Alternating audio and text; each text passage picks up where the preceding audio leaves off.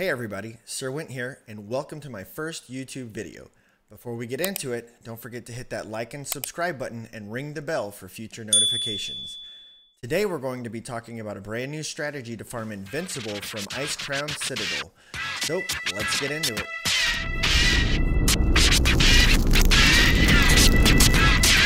First, head to Icecrown Citadel with your save keeper and make sure you are on 25 man normal. Once inside, clear all the way up to Valithria.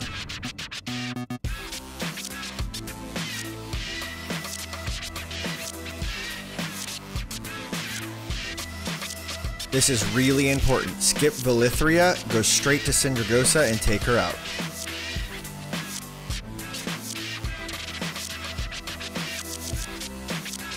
After you down Cindy, exit the raid, leaving only Valithria and the Lich King alive. Once outside, switch over to your alt, make sure you're on 25 man heroic, and clear all the way up to Lord Marrowgar. Once Marrowgar is defeated, leave the raid and switch back over to your main. On your main, create a custom raid group, switch back over to your alt, apply for the custom raid group, switch back over to your main, and invite your alt, then switch back over to your alt and join the raid group.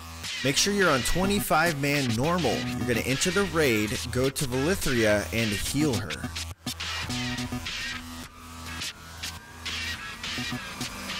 After you heal Valithria, you're going to exit the raid, leave the raid group completely, switch it to heroic, and enter.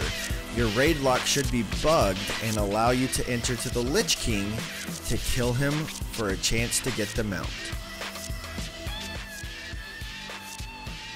You can repeat this as many times as you'd like with all of your alts, starting with the heroic Marrowgar step.